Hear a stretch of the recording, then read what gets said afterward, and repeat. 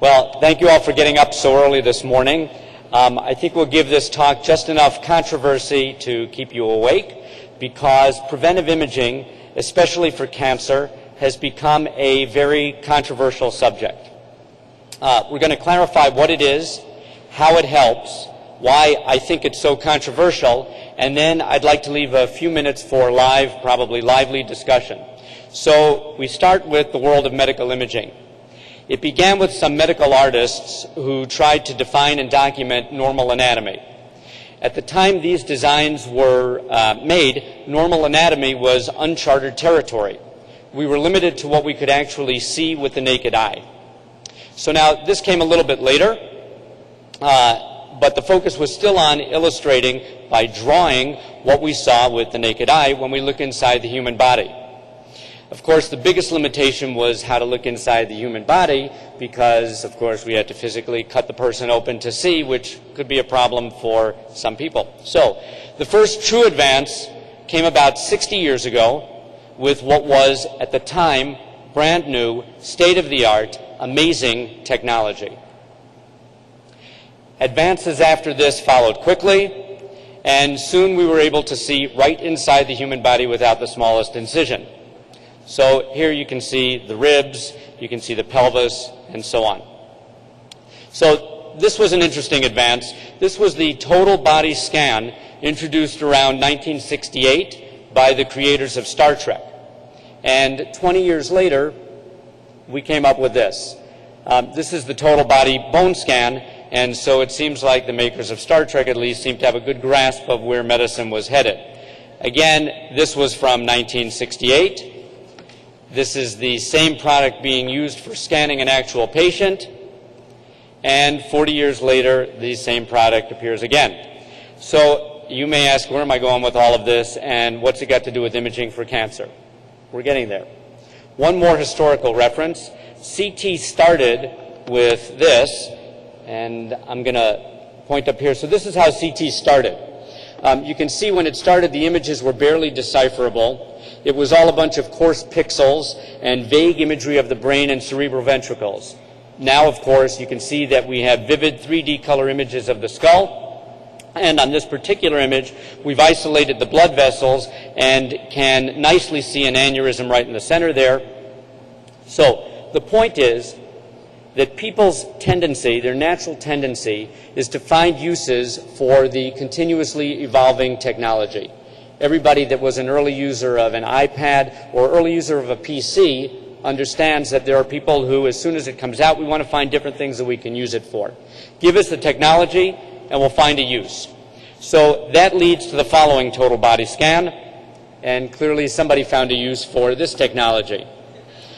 Over time, the science of radiology has evolved from simple images to full color 3D imaging.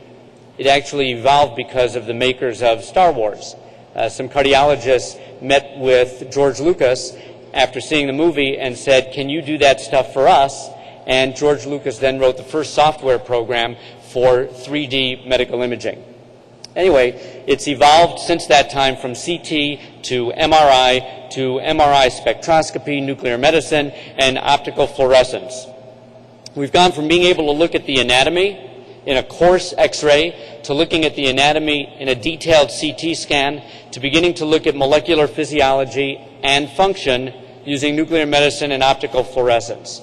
So, these fantastic advances have led the public, as well as the medical community, to the conclusion that anything can be done.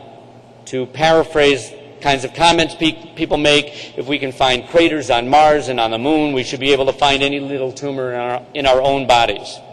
The problem is that the public sees this fascinating and, development, and developing state-of-the-art technology and assumes that we should be able to see just about anything all the time. And the medical community is a part of that public. It's a part of that public perception because the doctors not the ones actually doing the radiology itself, but other physicians tend to have the same broad perspective. If we can see this, we should be able to see everything else. So we get titles like this. There we go. Um, no more excuses. no more lung cancer, as though CT can now eradicate lung cancer. Okay, so it's true that CT is the most sensitive imaging test for identifying pulmonary nodules. There was a recent study about a year and a half ago of 35,000 people, 35,000 people showed that screening the at-risk population, people with cancer, I mean, uh, people with uh, smokers and so on, screening them with CT imaging would increase the life expectancy of those patients that have cancer by an average of 10 years. That's an average of 10 years.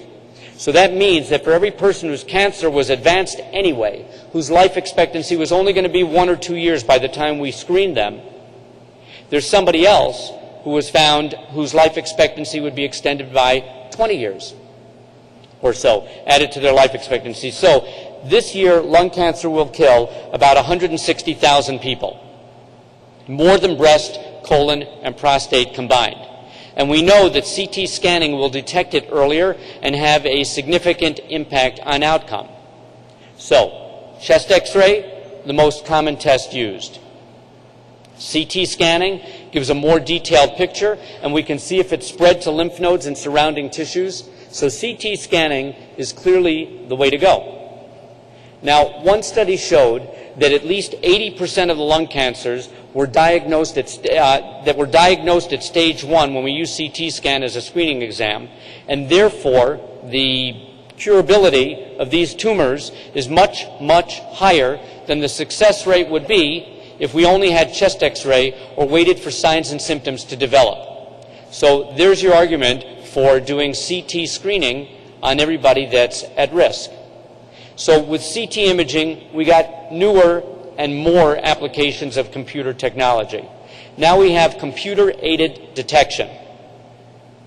Um, this shouldn't be misconstrued as computer-aided diagnosis. We still need the radiology to make the diagnosis. The computer's not there for that, but it's to help detect the pulmonary nodules. It's to help us win the Where's Waldo game of finding that nodule um, that's uh, hidden behind a rock. So computer-aided detection allows identification of the nodules. It allows us to quantify how many nodules there are. And by doing follow-up studies, we get an automatic comparison with previous exams so that the computer measures the nodule at one point in time and compares it to the exact same nodule, which it sometimes may be a little confusing when there are multiple nodules from the previous study.